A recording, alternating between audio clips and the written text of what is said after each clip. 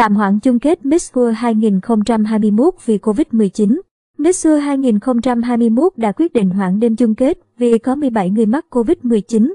Lý do hoãn là nhằm đảm bảo sức khỏe của các thí sinh, nhân viên kỹ thuật, ban tổ chức và công chúng. Giữa đêm ngày 16 tháng 12 giờ Việt Nam, fanpage Miss World bất ngờ đăng tải thông cáo báo chí về việc tạm thời hoãn đêm chung kết của Miss World 2021 như dự kiến. Đã đưa ra trước đó 6 giờ sáng nay, 17 tháng 12 giờ Việt Nam. Lý do được BTC Miss World đưa ra là vì quan tâm đến sức khỏe và sự an toàn sức khỏe của toàn bộ thí sinh tham dự cuộc thi, những nhân viên kỹ thuật, ban tổ chức cùng công chúng. Theo đó, quyết định này được đưa ra sau cuộc họp bàn thảo luận với các chuyên gia y tế được thuê để giám sát sự kiện đêm chung kết và Sở Y tế Puerto Rico.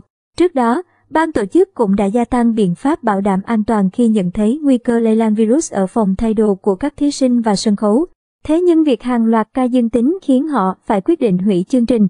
Các thí sinh và nhân viên sẽ được theo dõi y tế đến khi hoàn toàn khỏe mạnh và đủ điều kiện lên máy bay về nước. Đồng thời fanpage cũng cho biết chung kết sẽ được lên lịch lại trong vòng 90 ngày tới. Chúng tôi rất mong chờ sự trở lại của các thí sinh, những cô gái tôi đã có cơ hội gặp gỡ và yêu mến. Để chung kết cuộc thi được diễn ra trong bối cảnh an toàn hơn bà Julia Molly, Chủ tịch Miss World chia sẻ. Trên trang cá nhân, Hoa hậu Đỗ Thị Hà, đại diện Việt Nam tranh tài tại Miss World 2021 cũng chia sẻ lại thông tin hoãn thi chung kết. Ngoài ra cô còn tiết lộ bà Molly và đương kim Hoa hậu Thế giới Tony An cũng đã nhiễm Covid-19. Đây là thời điểm chưa đủ an toàn để tổ chức đêm chung kết nên bắt buộc phải hoãn lại. Thí sinh và khán giả cũng có một chút tiếc nuối cho hành trình này nhưng chúng ta nên hiểu rằng sức khỏe phải được ưu tiên hàng đầu nha mọi người, Hoa hậu Đỗ Thị Hà viết. Theo National News, ngày 16 tháng 12, Bộ Y tế Puerto Rico cho biết có 17 người nhiễm COVID-19 tại Miss World, gồm cả thí sinh và nhân viên. Toàn bộ người mắc bệnh đã tiêm vaccine đầy đủ và không cần nhập viện.